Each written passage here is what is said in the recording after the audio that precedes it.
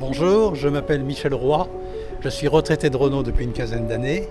J'ai commencé mon activité professionnelle sur l'île Seguin comme ingénieur en 1964 et exercé différentes responsabilités, dont celle de directeur de l'usine dans les années 80. Bonjour, je m'appelle euh, Daniel Terry. Je suis entré chez Renault en même temps que Michel Roy. Nous sommes de la même promotion. J'ai travaillé pendant 20 ans dans l'île Seguin, de 1965 à 1985, dans le secteur emboutissage, euh, tôlerie, carrosserie. Alors là, nous sommes sur le pont de Sèvres. On, a une vue complète sur la partie aval de l'île, qui était un lieu technique, puisqu'on y avait une centrale, pas seulement centrale électrique, on y fabriquait l'électricité. Ça veut dire que l'île était autonome, avait sa propre énergie, l'air comprimé et la vapeur. Pourquoi la vapeur? Parce que c'est avec la vapeur qu'on chauffe les étuves qui cuisent les peintures en particulier.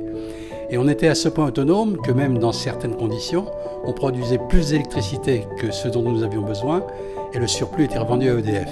Donc euh, voilà, et alors euh, l'avantage de cette centrale par ailleurs, c'est que elle avait de la gueule, si je puis dire, puisqu'elle avait été réalisée par un architecte qui s'appelle Monsieur Laprade. Donc on avait voulu lui donner une touche qui détonnait, mais dans le bon sens, du reste des bâtiments.